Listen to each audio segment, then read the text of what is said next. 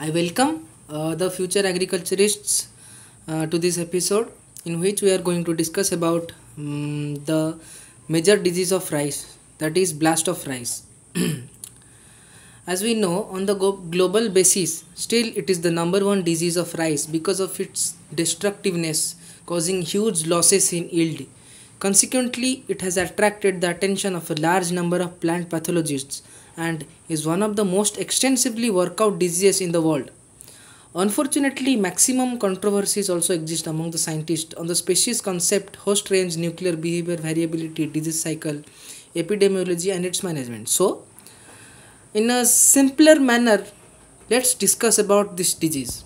So, coming to the introduction, this disease, that is the blast of rice, was first recorded in the in the country China in the year 1637, and after that, it was reported in Japan in the year 1704. So, now let us know uh, in India uh, when what was it reported? It was reported by the scientist Butler in the Tanjore Delta of Tamil Nadu. It is the one of the districts of Tamil Nadu in the year 1913 and uh, the losses are estimated to be 70 to 80 percent of grain yield. What are the areas that are affected by this disease? Mainly, it affects the coastal areas like Odisha, West Bengal, Kerala, and uh, Tamil Nadu.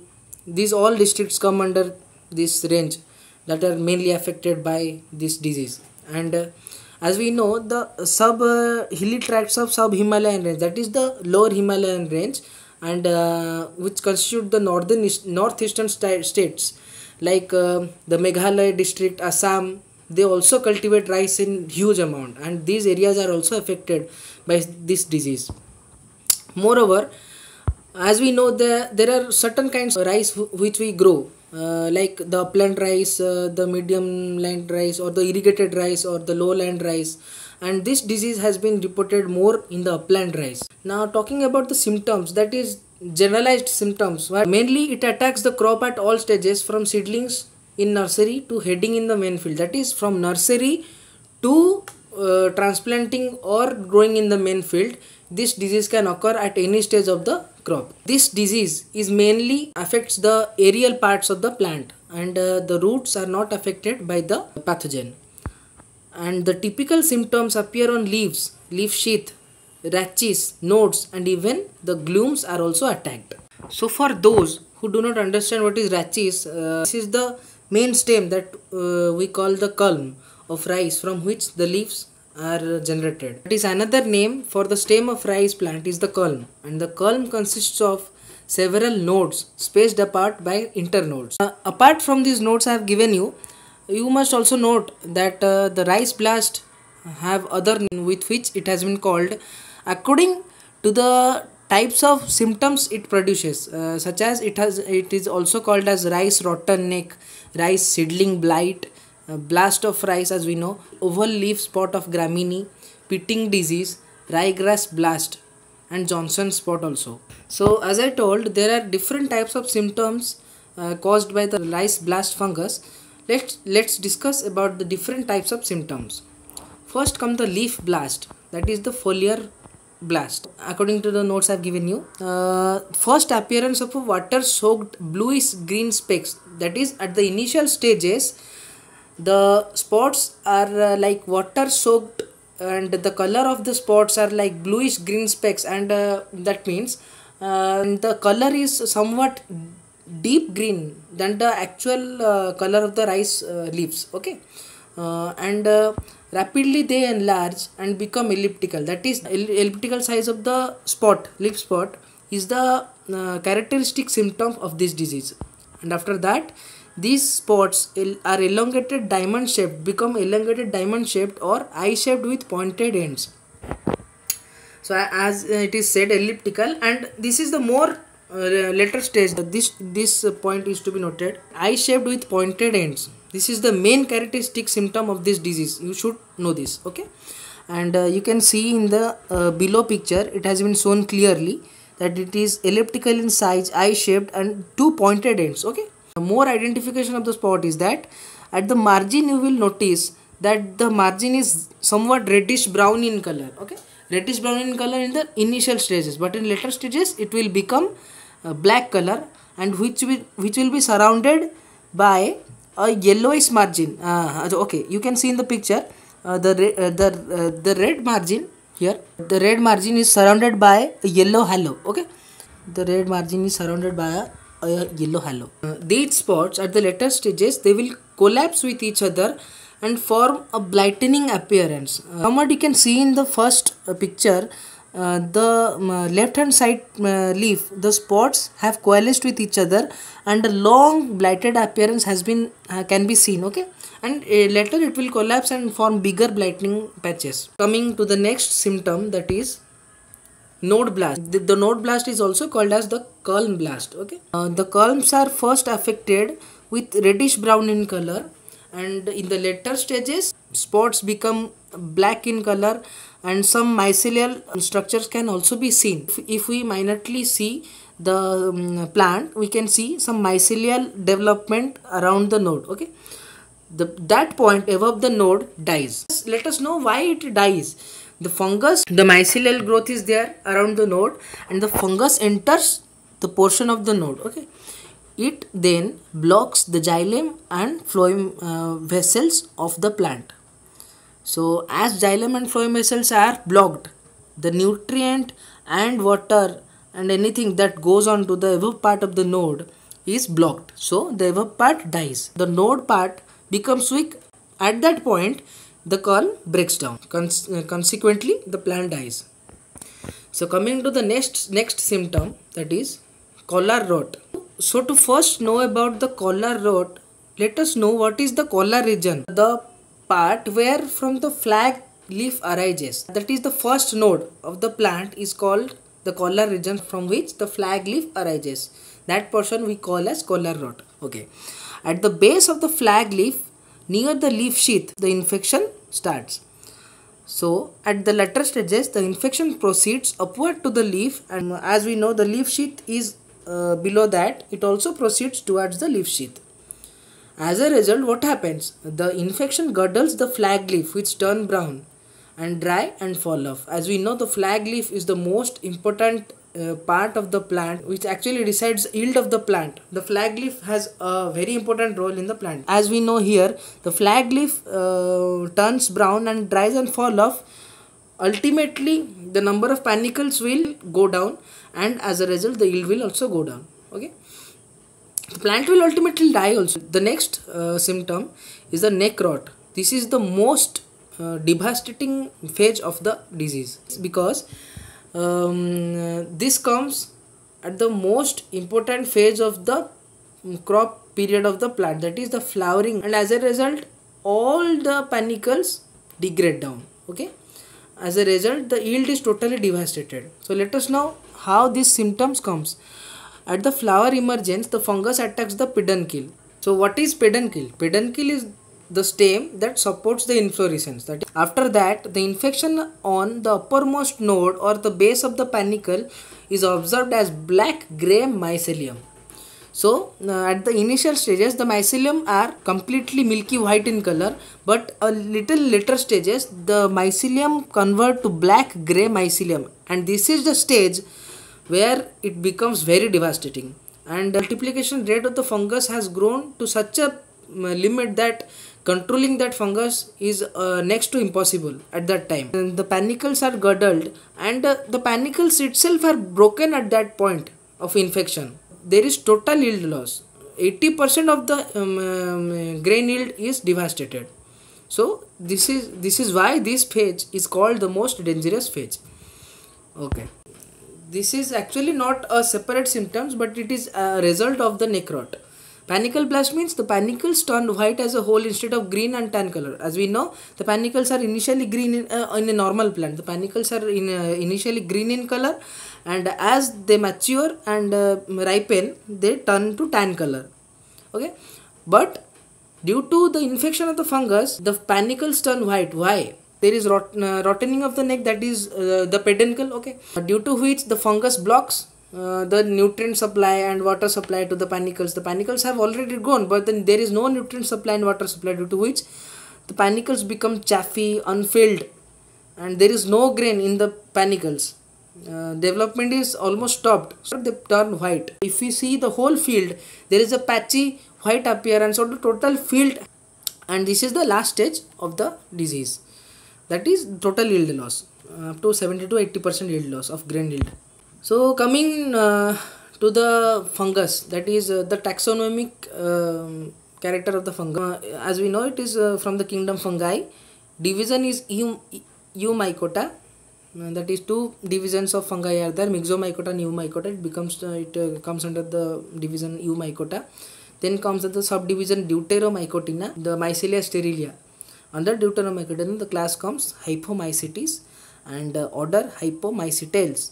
Family is Dematiaceae and genus and species as uh, we know it is Pyricularia grisea and in this picture we can see clearly the spores of Pyricularia. These are called the conidia of the fungus. The conidia are pyriform to obclavate or somewhat top shaped okay? Attached at the broader base by a hilum. this one is the hilum. this one is the spore that is the conidia and uh, this is somewhat pyriform. This shape is, is called pyriform shape okay? Uh, the conidia here are hyaline to pale olive green. The color it has been seen uh, olive green three celled as we can see there are two uh, septations okay? Let me show that. This you can see two septations. Two septations that is three three parts. That is three cell structures okay? Three cell structures. uh, and the perfect stage of the fungus is uh, magnaporthe grisea it produces perithecia structure.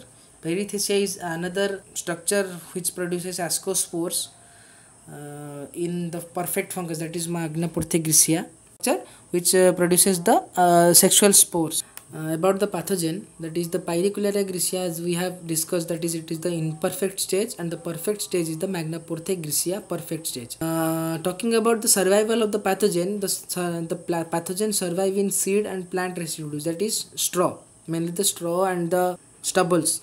After cutting the rice there are the stubbles remain in the ground. The pathogen can survive in this.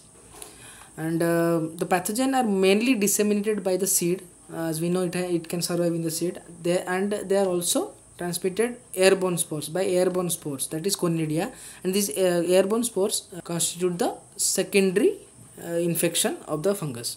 The fungus have also been seen to survive on weeds or collateral hosts such as the Panicum repens, Digitaria marginata and uh, Echinochloa crusgalli. These two uh, weed species, these, uh, these weed species highly affect the rice field. As they are of the same family they can also be called as collateral hosts. Okay. talking about the epidemiology. That is epidemiology means the favorable conditions which encourage the pathogen to grow. First comes the relative humidity. The relative humidity uh, must be greater than 90 percent.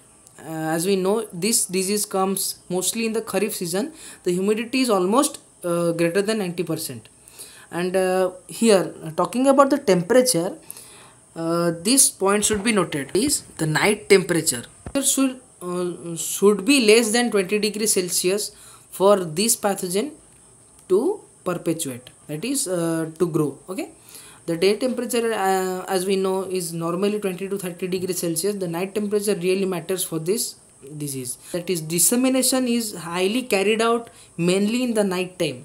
The airborne spores are mainly carried out in the night time okay? Uh, prolonged leaf wetness as it is rainy season prolonged leaf wetness will be there. And another point is that uh, today farmers apply more nitrogen than it is required in the field. And this application of excessive nitrogen is one of the main factors that uh, provides uh, favorable conditions for this pathogen to grow. You you must be asking how. That is uh, excessive nitrogen application will uh, encourage more vegetative growth in the plant. And more vegetative growth means the plant loses loses its uh, immunity against the pathogen. And this makes favorable condition for the pathogen to grow mainly the pyricularia okay next coming to the disease cycle. In this picture we can see uh, starting from this point that is this one. Airborne spores called uh, the conidia land on the rice leaves. Okay uh, where from the airborne spores or conidia land on the rice, rice leaves? The, these airborne spores come from the weed or collateral host. Let us add for in this stage the uh, infection comes from the seed. As we have discussed that the pathogen can also thrive in the seeds. Okay two types of sources of infection. Next coming to the second stage uh, that is the spores germinate and the fungus penetrates the leaf surface or enters the leaf through the stomata. So as we know the fungus after reaching to the leaf, leaf surface it germinates. And the fungus penetrates the leaf surface by producing uh, intracellular and intercellular haustoria that these haustoria is the modified hypha of the pathogen. These enter into the intercellular and intracellular spaces and these are the main structures that help the pathogen to perpetuate on the leaf surface or inside the plant. And after that the fungus grows and produces leaf spots after 4 to 5 days. As we know the leaf blast is the first symptom that comes after the fungus grows inside the plant. And, and, and after that other symptoms that is the neck blast neck rot collar blast they come into occurrence. And after that the fungus produces uh, airborne spores that is conidia the spores are released by the dew or rain and are carried into the air to the other plants. And this is how the secondary infection uh, occurs. The spores that land on the leaf surface that is the first step it is called the primary infection. And the airborne spores affecting the other plants this is called the secondary infection the fungus then produces more spores and, and more diseases caused in the whole field. And at, and after that all plants die and the, there is yield loss. And when there is uh, unfavorable condition that is there is no more host to affect by the pathogen the pathogen then um, survives in the seed comes to the seed survives in the seed or transfers the spores to the uh, other collateral host or the weed host there it perpetuates the unfavorable condition. So more facts about this pathogen that is the reproductive structures that is what all are the spores produced by the uh, pathogen. Conidia as we know the uh, conidia is the pear shape. These are the main airborne spores. The chlamydospore and the sclerosium. Sclerosium i don't think it produces but some literatures it has been shown that sclerotium it is produced by this pathogen and this chlamydospore and sclerotium are produced in the most unfavorable favorable conditions and the pathogen has to survive anyhow. This at that time the pathogen produces these resting or uh, hardy spores and the toxin. These are the two toxins that are produced by the pathogen when it enters into the host and these toxins help the pathogen to grow inside the host and making the host metabolism and host immunity in weakening the host immunity. These toxins play a major role that is the pyrrolidine and the alpha picolinic acid. Talking about the disease forecasting, this is a new arena of research in plant pathology. How the disease are to be forecasted before it comes. So talking about it, in Japan, the first leaf blast model was developed and named as the BLAST, B-L-A-S-T this is the name of the forecasting model later on after this uh, different field experiments and various models were developed namely the, the pyricularia these are the names of the models pyricularia pyriview blastam and pblast. This need to be noted down. In india the first uh, disease forecasting model was called the epibla. Please note it down. This may come as questions. Uh, is the first forecasting model for uh, pyricularia. Epi means uh, epidemic disease and blast uh, stands for blast okay epidemic blast. So coming to the management of this disease the first and foremost step is the split application of nitrogen. This is done to uh, actually reduce the amount of uh, nitrogen applied in the field uh, so as to reduce or prevent the excessive uh, use of nitrogen in the uh, for for the crop. As we decided earlier that excessive application of nitrogen is the main cause of making favorable conditions for the disease to perpetuate step is the field sanitation and burning of st stubbles. As we have discussed earlier that the pathogen can perpetuate and uh, it can survive in the unfavorable conditions in the uh, stubbles that is after harvesting the straw that uh, remain in the field are called stubbles and in that only the pathogen thrives. And uh, field sanitation means keeping the field clean of uh, some uh, waste products or uh, harvested products which can stay in the field and decay and they only create a micro environment for the pathogen to grow more vigorously. So field sanitation and burning of stubbles are very required. The third step is avoid close spacing of uh, seedlings in the main field. That is in the main field after transplanting when the disease actually initiates in one plant uh, it produces uh, conidia that is the airborne spores and um, this rate of increase of disease proneness or disease intensity is uh, inversely proportional to the distance between plants. That is if the plants are closely planted the airborne spores are quite easily uh, transported to the next plant. And furthermore this in uh, this helps the airborne spores disseminate more fast and the disease itself increases at a higher speed. But if we plant the crop by keeping uh, a um, uh, legitimate distance between them the airborne uh, spores will take time. And this time helps us to take some preventive or curative measures uh, to so as to um, stop the pathogen from spreading furthermore and summer plowing. As we have discussed in the previous slide